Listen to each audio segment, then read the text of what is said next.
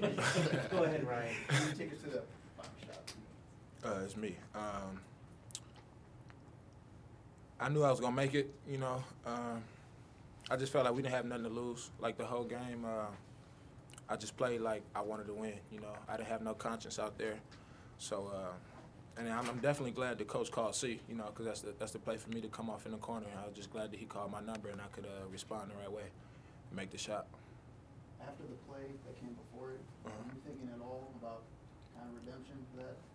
Oh, not at all. Like I just said, from the tip off, uh, I didn't care about nothing tonight but winning, and uh, I think it showed, you know, with, with that final shot. But um, yeah, I wasn't worried about me missing that last shot, coming up short on the rebound, fouling, giving them the free throw, putting them up. I'm not gonna say it's like I don't care, but you know, we got to move on. Next play. That's what coach teaches us. And uh, when he called that play, you know, I knew it was my time to step up, and uh, I knocked down the shot. Derek, uh, after Goodson's miracle shot against Stafford, thought you might build some momentum, then came, then came the trip to, to Michigan.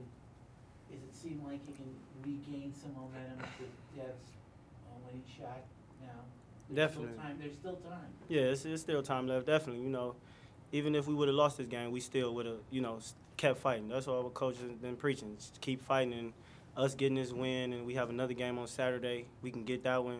You know, we can get things rolling back again. What was said at the start, though? They, they came out fast. There was it thirteen to nothing to start. Was there much said on the bench or during that, those timeout, during the timeout? Yeah, it was a lot said. You know, coach said that we came out flat. You know, nobody was talking. So you know, I try, we tried to tell everybody to talk more, attack more, be more aggressive. You know, we got to get rebounds and get stops. You know, we, we had a slow start, but we uh, we got it rolling after a while. Are you that type of player that could hit threes, twos? I mean, you, it was your, it was your baskets that really start, jump-started this offense after the third, after they opened with those first thirteen points. I mean, I was just being aggressive, you know. It could be me tonight, it could be Darren the next night, it could be Dev another night. It's just our team is so deep that, you know, you don't know who is going to be on any given night. You know, I just wanted to go take good shots, um, pa- make good passes, play good defense, and uh, just play hard. That's all coach asked for is to play hard, no matter through mistakes or whatever, just play hard. Forced a lot of turnovers tonight, didn't you? it seemed like they was just throwing the ball straight to me. Was there a point where you felt like you were on, that this was gonna be your night? Um, yeah, I kind of, I kind of once I made, uh, I think I made a two threes in a row or something like that, and then I made a, a jumper. You know, I just, just wanted to keep playing aggressive. You know, it's not just me; it's about the team. So, I just wanted to keep playing with my teammates. Uh, Derek, how much do you guys uh, feel that the press, you're down 13 nothing, the press forced them into like, I think three turnovers in a row? How much do you guys think that affected the game? Um, I actually think that was a turning point. You know, we came, we, we came in and we got three steals, like you said, or, or turnovers. You know, and that's what started us to kind of rally and fight back. You know, us, we so deep that we can we can press like that. You know, we can we can different people can play different spots. So once we created all those turnovers, that started us to help us come back inch by inch. Eric, you didn't start tonight for the first time. Was that a motivator? Um, a little bit, but not really. You know, I just want to win. You know, if, if me coming off the bench helps us win, then I'm all for it. I just want to win. You know, and, and coach told me when you get in the game, be aggressive. So I just wanted to be aggressive coming off the bench or starting. I just want to win. Any other questions, to these guys? Dev, you had that crazy shot at the end of the game. You know, you know, talking about Darren's shot, you know, last last Mhm. week against Akron. You know, what is it about the MAC Center that makes shots like that so magical? I mean, it, it's definitely something special about playing here at the at the house. Um, you know, we normally don't don't do too much losing at home, and, and it's not really been the case this year. So, I just really wanted to come out and, and try to get back to that, try to get back to, to, to, to Kent State basketball, doing what we was doing. Uh, Darren hit a great shot. You know, uh, I wasn't really thinking about that at all, but. Um, until after he came up to me and he was like, "Welcome to the club," you know. so uh, it was definitely definitely felt great to hit that shot. Can I say something? I seen him make this shot all the time in practice, so it's not really that magical to me. You know, I seen him make it all the time. Dev, in um, pregame shoot around, you guys looked really free, like nothing was wrong. What was your guys' mindset coming into the game today, Um, just to get back from that Michigan trip? You know what? It, it was to turn it around, and I can't really speak for everybody, but um, like I said, my mindset since pregame, since tip off, was just focused on on, on winning and, and not caring about nothing. I wasn't thinking about the two losses or, or, or not starting anymore or, or coach changing the lineup. Uh, I just wanted to get back to winning. And um, I think I showed that, you know, with my attitude. I, I didn't let anything else, you know, bother me. Fouls, foul trouble, playing. I just wanted to, at the end of the at the end of the game, I just wanted to get that win. You know, and I wanted it bad. Final question for these guys? Did you uh, give coach any signal in that last huddle that you were going to make it no matter what?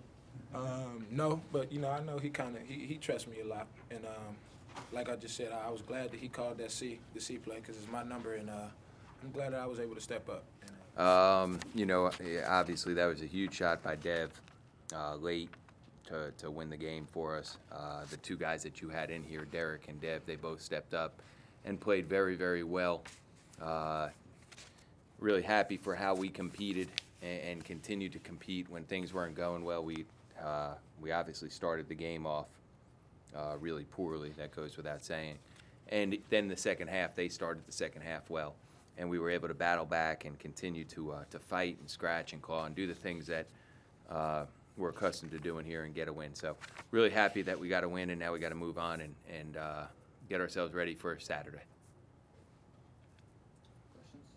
Rob, I, I asked Derek, and I'll ask you, there is still time in, in this, con- the way is Yeah. going this year. There, this, this, there's still time for, for things to happen. Yep. For, even for, even for Kent. Yep, yep. And you know what? Our, our focus, you know, has to be just on getting better and improving and trying to, to win each night that we're out. Uh, you know, I, I don't want these guys thinking in a bigger picture other than just, we got Saturday's game, let's try to win Saturday's game and see what happens. Do we move up in the standings a little bit? Yes, no, what, let's see what happens. And, uh, we dug ourselves a hole, you know, in conference play. We, we lost at home to Northern Illinois at the buzzer, similar to how we won this one, or not quite at the buzzer, but close. We lost uh, in overtime to Central Michigan. Uh, we lost a three-point game to Toledo when we were up, I think, at the last media timeout. We lost at home to Ohio in a five-point game when, uh, you know, we were tied with five minutes to go, and they hit. We missed a three. They hit a three. We missed a three. They hit a three, and um, you know, we just we dug ourselves a hole here, and it was good to see us compete the way I think we're capable of competing tonight, and um, you know, we just need to continue to do that moving forward. Quick comment, please, on, uh, Cameron Black. Kent. Ford. Yeah, you know what? He played a, a great game tonight, and uh, you know he he was very very good, and you could see he wanted to play well tonight, and they went to him, and uh, he he played very well, and he's a good player who's had, you know, a very solid career at uh, at Bowling Green. I don't know him personally very well, but he, he seems like a good kid. I know his dad a little bit, uh, and his dad's a good man, so uh, and is a very good coach. Uh, Go ahead. No, so you know what? Good. Kudos to him for, for playing the way he played. Coach, I'm, I'm curious, assuming that Dev's first three was not what you call a timeout to set up. No, the, you know what? We just wanted uh, a drive and kick when there was we, we had the ball, and there, I think there was a difference in shot clock of six seconds or seven seconds, seven seconds it was, and we we called the timeout. I think there was about 15 seconds to go in the shot clock, if I'm not mistaken, and we just wanted we had our play with Dev being spotted in the corner, and if Kris Brewer couldn't turn the corner, then he was to kick it to Dev to, to shoot it, and I would have been I was fine with the shot that Dev took. Okay. Um, and and as it ends up, the fact that he shot it a little bit early gave us some more time to get the ball back. But I was fine with the shot that he took. I was not fine with the fact that, you know, he misses the shot.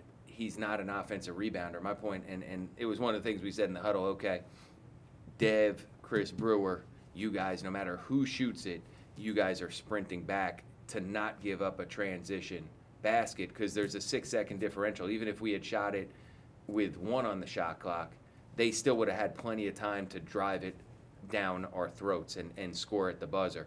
So uh, the shot was fine. He, he, he, he came up a little bit short, but then he chased his shot and he did foul the kid. Like, you know, I mean, he, he I'm sure had had I, I- don't know wh- who was it Parker if I'm not mistaken Parker I think had had Parker not sort of fallen out of bounds maybe they wouldn't have called it but they were forced to call the foul and he did foul and at that point I you know i- if we had lost the game I would be pointing to you know we we talk about little things all the time that would have been a little thing like hey when you shoot that you have to sprint back and you gotta you gotta do what you're supposed to do but as it turns out he makes both free throws. There's enough time in the game that Kris Brewer drives it, it goes off of them, and Mark kept it alive, and then he's able to make make up for it by hitting that three. Well, what I was getting at actually Yeah. was the fact that you called his number again. What what was Yeah.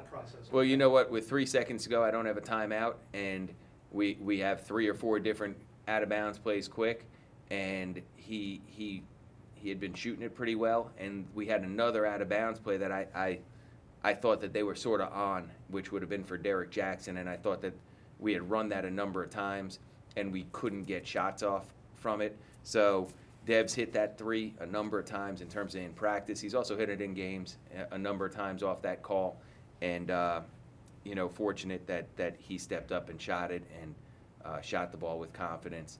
And and again, so the the one thing about Dev, and there's a lot of things that I uh, that I want to kill him about, but he he does have a lot of mental toughness. And for the two years that he was here as a freshman, he barely played.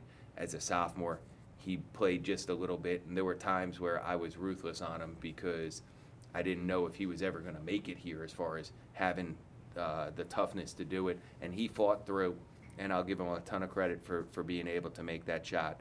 Um, coming off the bench, knowing that he's lost his starting spot, et cetera, et cetera. I give him a, a ton of credit for making it. And After the basket, Rob, was there a, did the officials go over and check something? Uh, it seemed like there was a, I, neither one. I think of they you were had- checking how much time was left on the clock Oh, because they okay. called timeout right away. Yeah, because I saw, Yeah. because neither one of you had a Yeah. timeout, and also it, it seemed like with the bench exuberant. Yeah, I would have killed shot, Marquise. I was close to killing Marquise if he had if they had called the technical That's foul. what There, yeah, no, I would have killed him. Bec- yeah, we had A veteran referee like Mike Sanzier could easily have called it. Yeah, you know what? I yeah, I actually think a veteran referee is not going to call it if that makes sense. Some some others might have called the technical. I don't know. I think they had stopped. What happened is the officials had immediately stopped the clock to see how much time was left on, mm-hmm. and we've actually been in this situation a couple times. In in my car- career here at Kent, um, the Akron game had happened, and again we showed film on that one, and that's what I that's why I would have killed Marquise if they had called the technical because we had just talked to him about that a week ago. Um, but we've also been in other games where guys, guys have run. I mean, I, I have a clip in my head of Brian Howard. This was ten years ago, sprinting onto the floor and then sprinting back. And if very rarely will they call a technical on that, but they do occasionally. If you're if he had sprinted all the way to half court, they probably did. And our assistants and our GAs and everybody did a good job restraining Marquise. That's what we wondered. Yeah. yeah. We talked about before the game about how crucial it was to get more production out of your bench. Yeah. And you've got that forty-five to two number. Mm -hmm. How encouraging is that to see? Yeah, and, and some of that's because Derek is Derek didn't start this game, but Derek's been a starter every other game of the season. Um, but but it's it's important. It's those are those numbers are important, especially you know Bowling Green doesn't play. They're not very deep. They don't play a lot of guys, so that's going to be a way for you to beat them. Is that you have to um, you have to have some bench scoring. Yeah, that's an important factor when you play when you play their team. Can you explain what was said after that thirteen nothing lead Bowling Green established and you called the timeout? What was said in that huddle? I can't say that out loud. no, I'm just. Well, You know what? There's a lot of game. You know, we just we, we have to come to play, and you got to grind it, and you can't try to get 13 points back in one play. So it was more a matter. And you know what? We did make a big run, and we took a lead 22-21, and then I sort of felt like not that we took the foot off the gas, but our guys relaxed a little bit, and when we relaxed, then they took the lead again, and you just can't play that way. And uh, we've struggled with that at times. You know, here this season is that when when we're playing on all cylinders for a number of minutes, we, we just we don't keep that pressure on teams consistently, and you got to do that to win in this league. Coach Derek Jackson had career high points, Yeah. high twenty-five points, you know. It's always good to get the stat like that, you know, how proud of you were of his play? Yeah, a- as much as anything, you know what? He this is the first time that he wasn't st- that he didn't start. Um, and the fact that he responded the way, you know, that, that's the response that, uh, I, I, remember twice during the year last year, I didn't start Randal Holt for different reasons, and he responded that way. Once last year, I didn't start Chris Evans, and he responded that way. There were times when Justin Greene was a senior and Mike Porrini was a senior and Scooty Guyton were seniors that I didn't start them for various reasons, and they responded the right way. And that's that's that's what you expect out of an upperclassman and a, and a kid that you rely on. So he did it. He, he responded the way I would hope he did, and uh, proud of him and happy for him that, that he that he played as well as he did.